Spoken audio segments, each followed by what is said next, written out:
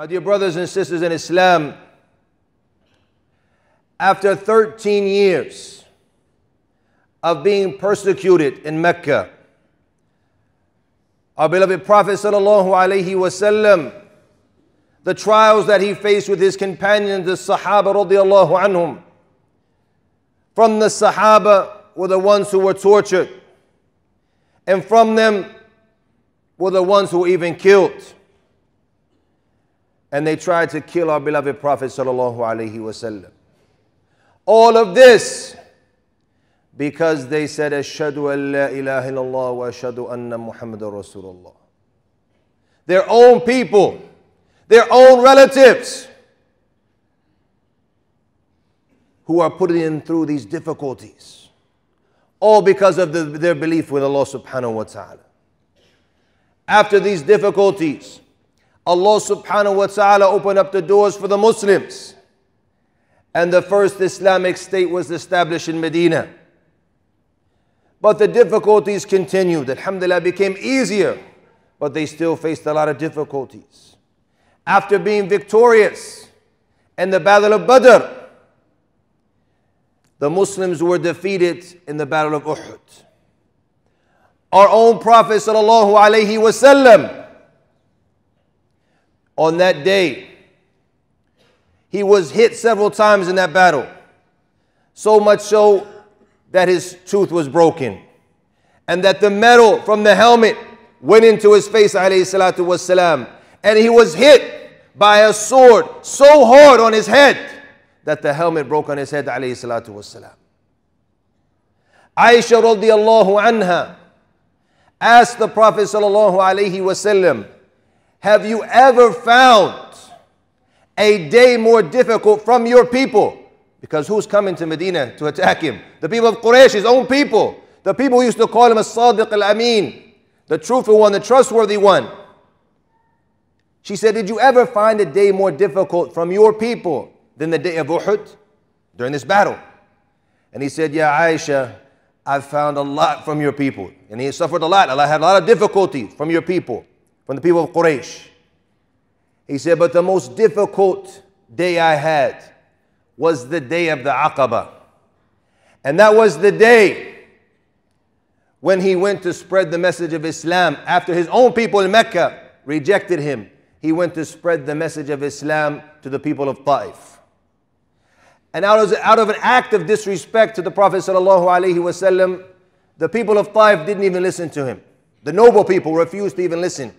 They sent out to him the sufaha, the low class, the low lives, the trash from the society, along with the little kids. Sent them out to tease the Prophet wasallam, to curse him wasallam, and to throw rocks at him. So much so that all of the rocks hitting the Prophet wasallam, he started to bleed until his sandals became filled with blood sallallahu wasallam. All of this so he can spread the message of Islam, ya akhwan this difficulty he's going through, he leaves the people of Ta'if and goes a long distance just walking, concerned about how he's going to spread the dawah. Jibreel alayhi salam comes to the Prophet sallallahu alayhi wasallam. Allah sends Jibreel to the Prophet sallallahu alayhi wasallam. He says, Ya Muhammad, I have with me Malak al-Jibal. I have the angel of the mountains with me. And if you want, just give the word. And the angel, the, the Malik of Jibal, the angel came and said, Just give me the word, Ya Muhammad, and I will close alayhim the akhshabain. Either two mountains, he will go to the people of Mecca and close the mountains upon them and crush them and destroy them. These people who are rejecting the message, people who are rejecting the haqq, will destroy them right now, just like the nations before them were destroyed. Just give me the word. Allah has sent me here today. You just give me the word. What did Rasulullah sallallahu alaihi wasallam say to him? What would you have said to him? Think about that. People who are harming you, harming your family, killing your companions, torturing your companions. What would you do if you had the ability to have them all destroyed? Subhanallah. Us today, if somebody looked at us wrong, just gave us a dirty look, somebody didn't return our salams, somebody cut us off as we're driving down the street, we'd say, kill him! Kill them all and his family. He deserves it. He doesn't have akhlaq, a'udhu billah. Let him die. Get revenge. But what did Rasulullah sallallahu alayhi wasallam say? He said, لا لعل الله يخرج من أصلابهم من يعبد الله ولا يشرك به شيئا. Perhaps Allah will send forth from their offspring somebody who worships Allah and doesn't join partners with Him. No, don't destroy them. Look at the rahmah, the mercy of Rasulullah sallallahu alayhi wasallam. وَمَا أَرْسَلْنَاكَ إِلَّا رَحْمَةً لِلْعَالَمِينَ Allah says, and we did not send you, O Muhammad, except for as a mercy to all of mankind. Look at this mercy. The companions, when they were going through this difficulty, they went to Rasulullah sallallahu alayhi wasallam and said, Make dua on the mushrikeen. Make dua to Allah that Allah will destroy them. Allah will harm them, just like they're harming us. The Prophet sallallahu alayhi wasallam said, Lam ubath la'anan wa innama bu'ithtu rahma. Subhanallah. The Prophet sallallahu alayhi wasallam said, I was not sent as somebody who invokes on others, who curses others. I was sent as a rahmah, as a mercy. Rasulullah sallallahu alayhi wasallam, a mercy to mankind. When the Islamic State was established in Medina and the Muslims had strength, the state was spreading out, becoming stronger. The Prophet ﷺ sent some of the Sahaba on a patrol, on a mission. And as they're doing their job, they come across somebody and they look. And I want you to imagine, before I continue in the story, some of the people who harm Rasulullah in the days we live in. Some of these people who draw these evil cartoons about our Prophet sallallahu alaihi wasallam. Some of these evil people who talk dirty and negatively about our beloved Prophet sallallahu alaihi wasallam. Imagine if you were to find them and you got the upper hand. You're deep. You and a lot of the Muslims, and he's just, him maybe a few people. What would you do to them? The Sahaba found a man by the name of Thumama ibn Uthal, ibn Uthal. And Thumama from the city of Yamama was the leader of his people and somebody very important. And he hated Rasulullah sallallahu alaihi wasallam. And he did everything in his power, in his will, to harm Rasulullah sallallahu alaihi wasallam. And he used to talk very dirty and very negative about our Prophet sallallahu alaihi wasallam. And here he is with no guards going to Mecca the Sahaba found him, took him as a prisoner right away. And they bring him to the masjid of Rasulullah sallallahu alaihi wasallam. The people are in shock. Thumama, the one we hear about harming Rasulullah talking negative about Rasulullah and here he is, tied up as a prisoner in front of Rasulullah. Now, what would you do in this situation? Think about that. Here he is, the enemy, right in front of you. Rasulullah sallallahu alayhi wasallam, he said, tie him up in the masjid. Where? In the masjid. And I'm Muslim, in the masjid. Sometimes we bring people to the back. Say, brother, haram. You bring a non-Muslim into the masjid, haram. Taqillah. It's masjid. Najis, najis, kafir. Huh? This is Rasulullah sallallahu said, tie him up in the masjid on one of the pillars. وَأُحْسِن لِثُمَامَ And be good, be kind to Thumama. Take care of him. Give him good food. Take care of him. So they were giving him good food. They were taking care of him. And what is he doing? He's watching Rasulullah interact with the companions. He's hearing the Quran being read from Rasulullah sallallahu alayhi wasallam in the salat. The Prophet sallallahu he goes up to Thumama and he said, ah, what do you say, Ya Thumama? And basically, what do you think I should do with you? Now, here's a man, he, he's at a weak place now. He's strong in his people, but he's tied up. He's a prisoner of war. But that didn't hold him back from being bold and being proud of who he was. He said, If you kill me, he said, beware that I'm somebody important for my people. Hey, beware that it's going to be war between my people and your people if you harm me. That's what he's saying. So if you're going to kill me, know that I'm somebody important. And if you free me, I'll be thankful. And if it's money you want, name your price because I got money. He's rich. Three things. Nothing else to say to you. Prophet Muhammad, he left. Left him for an entire day. Came back the next day. Said, Hi, Thumama, what do you think? He said to him, If you're going to kill me, then you're going to kill somebody who's important. And if you forgive me, you're going to forgive somebody who's thankful. And if you want money, name your price. The same three things. The Prophet ﷺ left him. And he came back the third day. He said, Mama, what do you think? And he repeated to, the, to Rasulullah the same three things. Same stance, didn't change.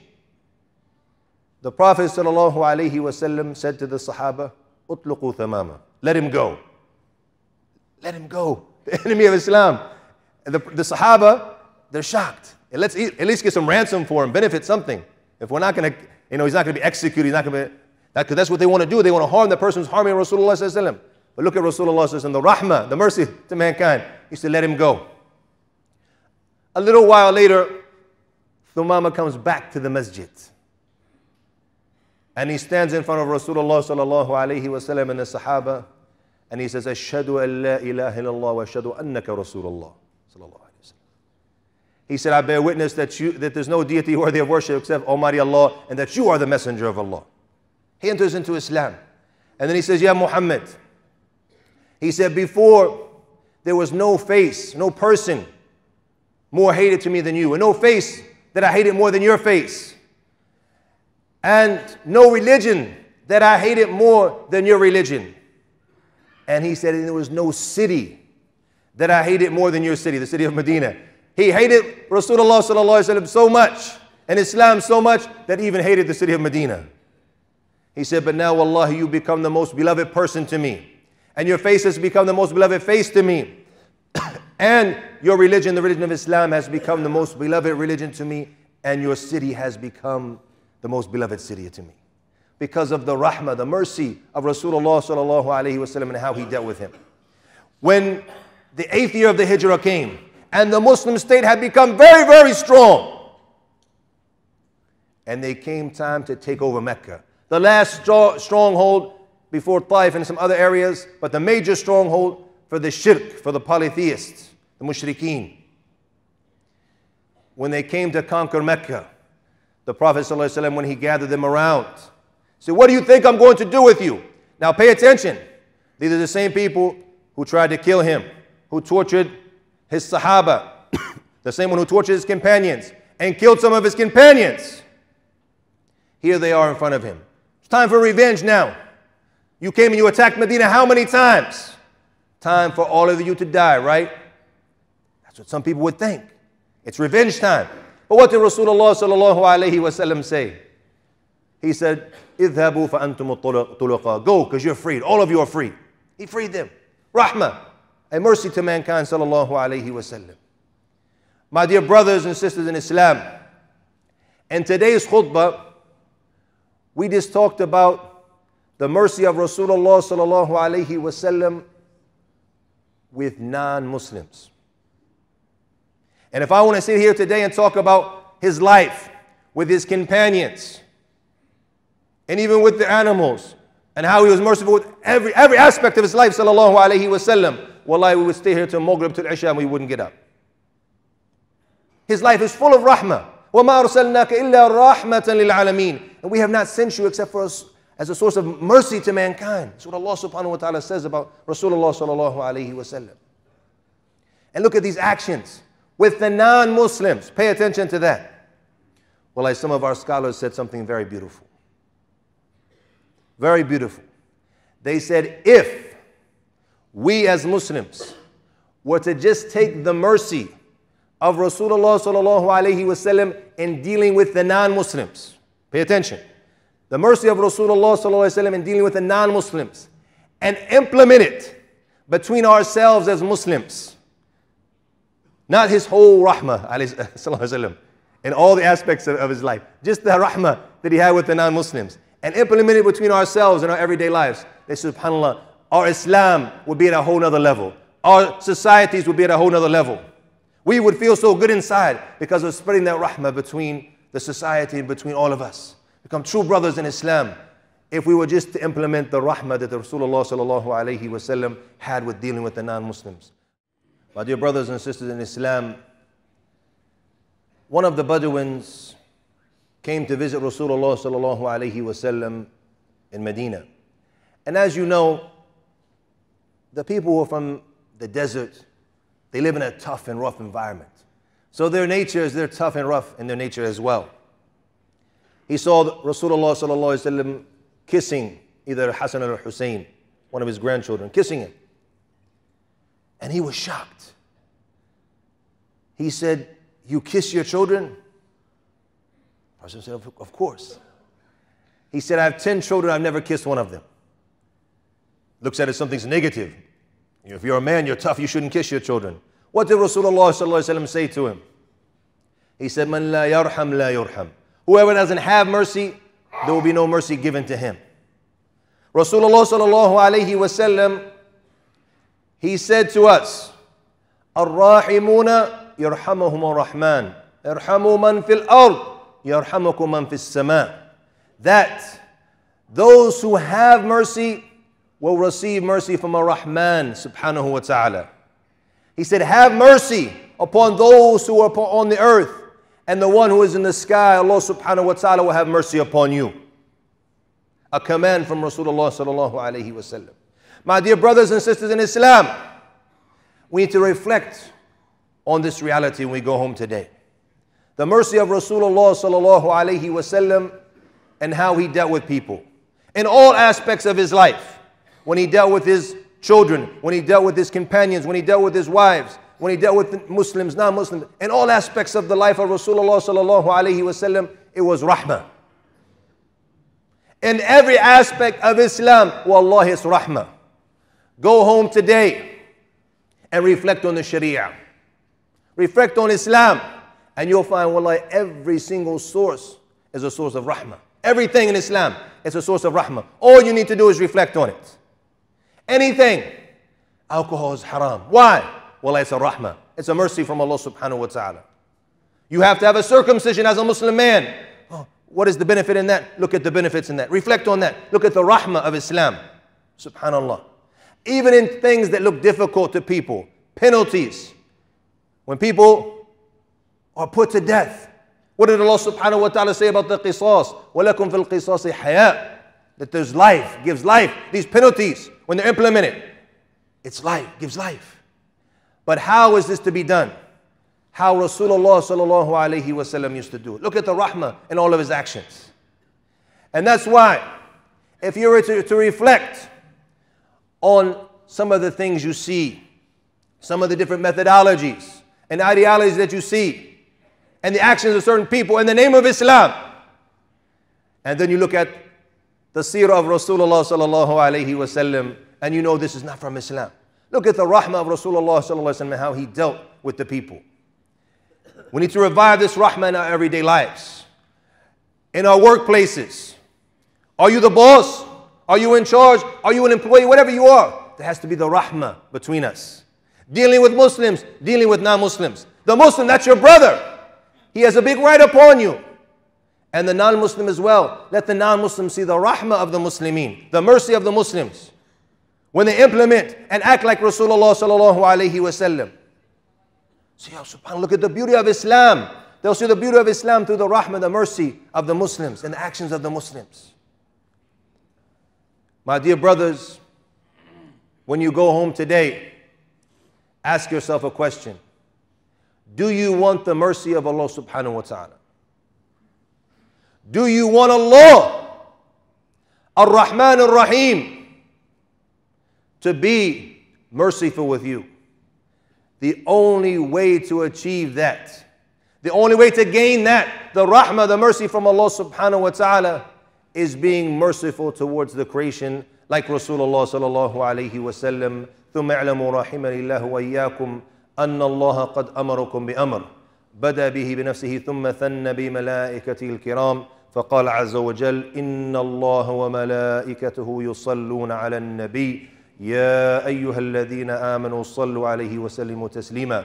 ويقول النبي صلى الله عليه وسلم من صلى علي بواحدة صلى الله عليها بعشرة. اللهم صل وسلم وأنعم على نبينا محمد وعلى الخلفاء الراشدين أبي بكر وعمر وعثمان وعلي وعن سائر الصحابة أجمعين. اللهم اعز الإسلام والمسلمين. اللهم اعز الإسلام والمسلمين.